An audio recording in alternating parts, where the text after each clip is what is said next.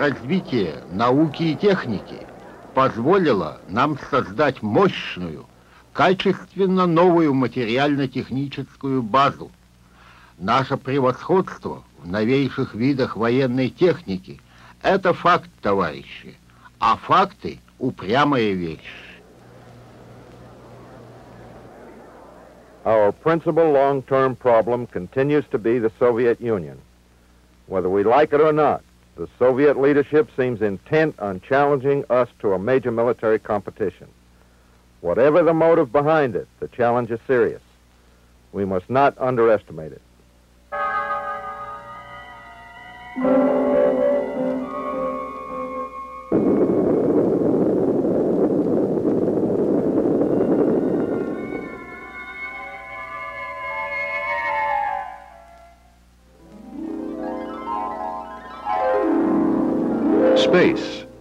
An infinite ocean.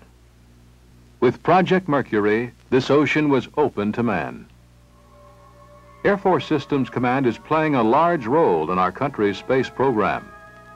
Transportation, gathering worldwide weather information, global navigation systems, communication systems that reach round the Earth and into space, and surveillance of objects in near space and deep space. Let's look at some of these programs and their defense applications. Air Force participation in the National Space Transportation System includes providing both launch and recovery facilities and planning for Department of Defense space shuttle operations. At Vandenberg Air Force Base, the AFSC facilities for processing payloads in the space shuttle vehicle are under construction. This is the location of the launch pad, payload service tower, control center, and associated facilities. The space shuttle vehicle consists of the large external tank, two solid rocket boosters, and the orbiter itself. The space shuttle vehicle will be launched from this complex when polar orbits are needed for the mission. AFSC's Arnold Engineering Development Center has completed wind tunnel tests, documenting stability and control surface effectiveness of the space shuttle. The model is one of the most precisely detailed ever built. It includes surface features as small as the cargo door hinge line, and special attention was paid to the area around the three main engine exhaust nozzles. This is the largest orbiter model ever installed in the two wind tunnels used in the tests, sponsored by the National Aeronautics and Space Administration. The tests at AEDC examined that portion of the orbiter's reentry as it slowed from eight times the speed of sound to one quarter that speed. They also included in-flight maneuvers that might be needed to correct its flight path.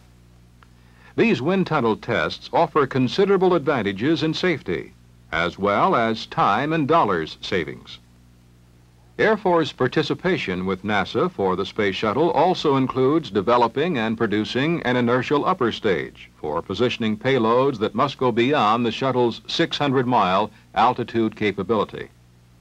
The Air Force Flight Test Center at Edwards Air Force Base provided support for testing the Enterprise during its piggyback flights and the first landing tests, including landings on a concrete runway. During the operational phase, the orbiter can use either Vandenberg Air Force Base or Cape Canaveral, Florida. Both facilities will have a 15,000-foot runway for orbiter recovery. It lands much like a conventional aircraft, but without power. With a potential for more than 100 missions in its lifetime, each shuttle will show substantial cost reductions and a potential to significantly enhance the effectiveness of Department of Defense space missions.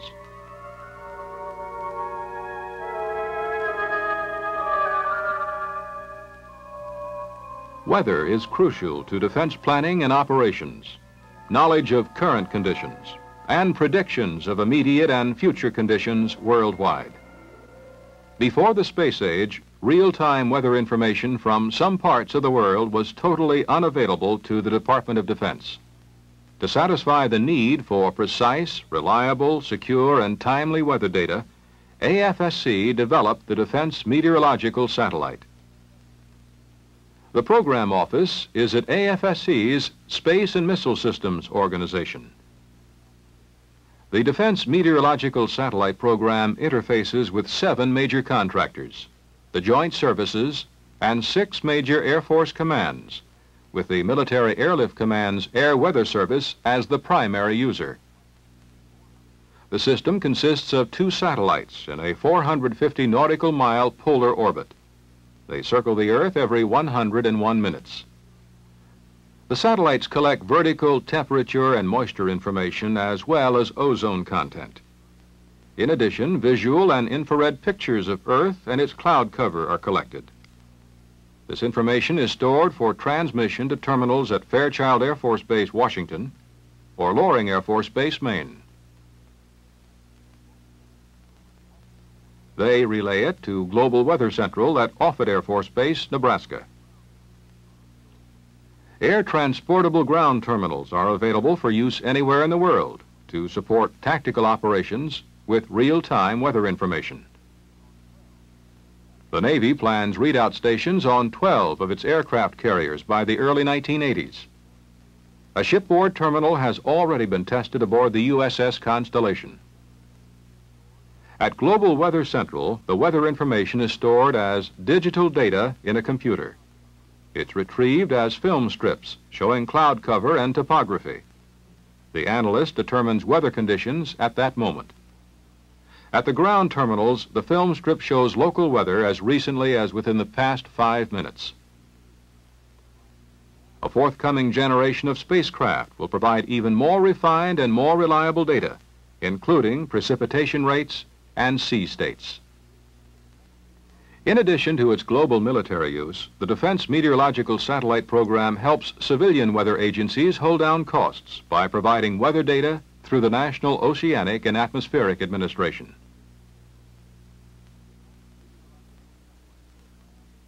The Defense Meteorological Satellite Program is an efficient, cost-effective, and highly successful means of supplying quality weather data on a global scale in support of our nation's military requirements. The Navstar Global Positioning System will be a worldwide network of satellites transmitting precise, jam-resistant navigational signals.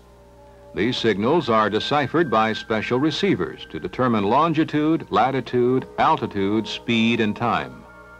24 satellites will orbit the Earth every 12 hours to provide highly accurate and continuous global coverage to the Army, Marines, Air Force, and the Navy. With this system, a ship could determine its position on any ocean in the world within 30 feet. A tank unit could accurately determine local time for a coordinated attack.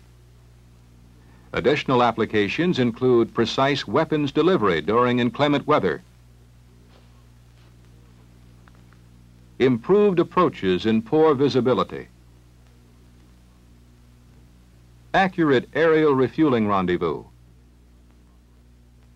and more efficient search and rescue operations. Monitor stations around the world would continually gather satellite signals. During the 1980s, the Navstar system will provide an accurate, cost-effective global positioning system.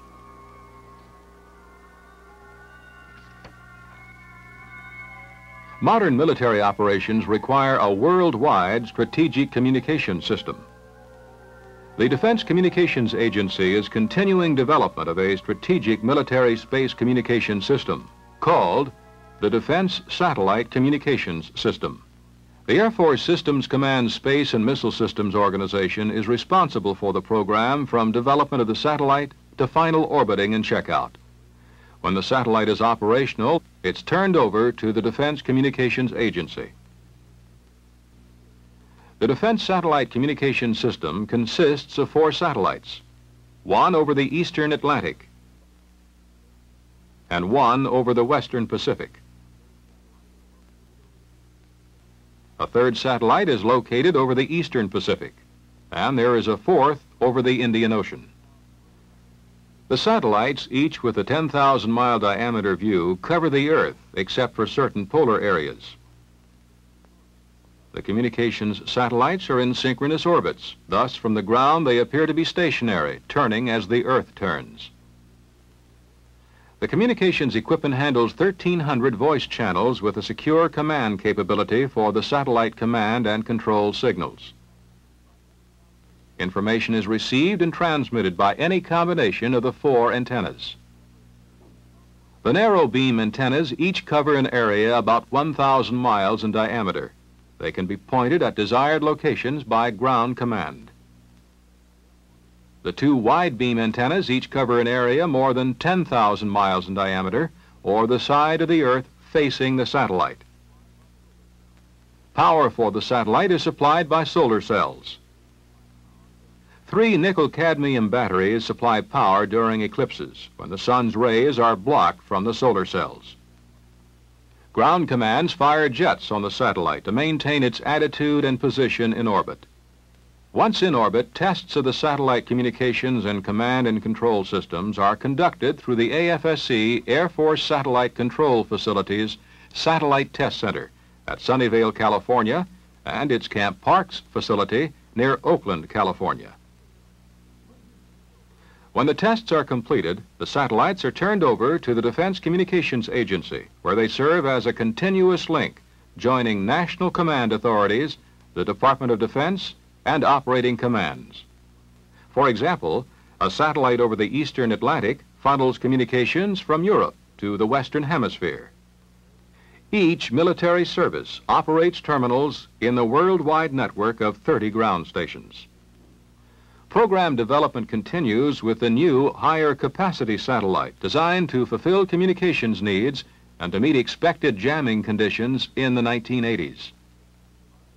The Defense Satellite Communication System provides a complete global communications network, serving our nation's strategic defense communications needs. AFSC's Space and Missile Systems Organization, in cooperation with our NATO allies, placed the NATO 3 satellite communication system in orbit. While this system serves NATO primarily, some communications capabilities are shared by our Department of Defense.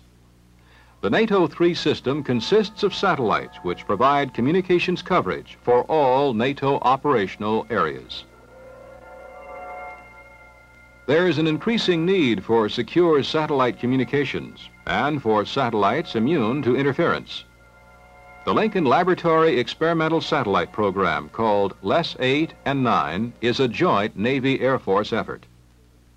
These LES 8 and 9 satellites demonstrated advanced communication technology using ultra-high and extremely high frequencies.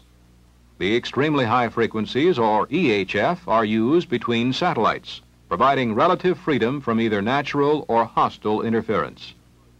Ultra-high frequencies, or UHF, are used by the satellites to talk to the force elements. The system was tested with existing FLTSATCOM assets. Because their orbits are synchronous, they repeat nearly the same ground patterns. After launch and initial testing, one of the satellites was moved west for further tests. Each satellite has an Earth coverage area about 9,000 miles in diameter. In addition to talking to each other, LES 8 and 9 can link surface terminals with voice or digital data communications. AFSC's Electronic Systems Division sponsored satellite design and construction. Experimental prototype surface terminals were developed by both the Navy and the Air Force.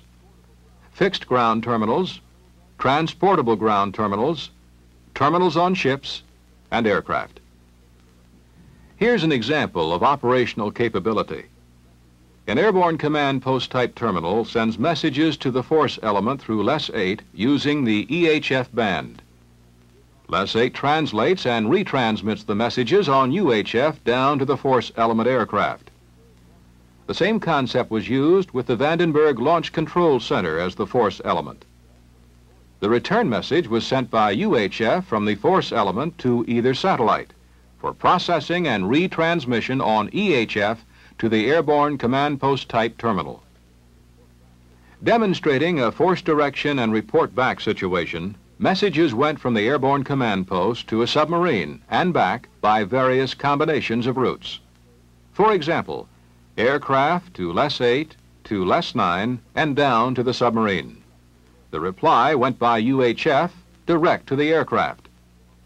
LES 8 and 9 handled conferences among command posts using combinations of direct and satellite-to-satellite communications. These communications proved to be essentially error-free in both voice and digital data modes. These techniques can be used in the design of future generations of satellite systems, such as one to support single integrated operational planning in the event of a general war. Keeping track of objects in orbit is an increasingly important surveillance task. Since the 1950s, more than 16 nations have placed satellites in orbit around the Earth. A prime function of the Aerospace Defense Command is to detect, track, and evaluate the mission of space platforms that could pose potential threat to the security of the United States. Large phased array radars such as Cobra Dane and PAVE PAWS detect, identify, and track up to 200 objects simultaneously. Another satellite surveillance capability is the ground-based electro-optical deep space surveillance system. Special telescopes and motion picture cameras are used by the Air Defense Command in tracking satellites at long ranges. Advanced systems are being developed using telescopes and electro-optical systems. Satellites can be detected among the millions of stars that form the space background. For example, there's a satellite moving in this star field. It's difficult to find, even for a trained operator. Here it is. Using special techniques, the motion of the stars is frozen and time is compressed. Now the star field looks like this. The moving satellite shows up clearly as the time compression is repeated. There are image enhancement techniques that can improve optical observation of spacecraft. Here, for example, is Skylab in orbit. The image is improved using image enhancement techniques. The Soviets are actively engaged in the development and flight testing of an anti-satellite capability which could threaten the survivability of some of our space systems.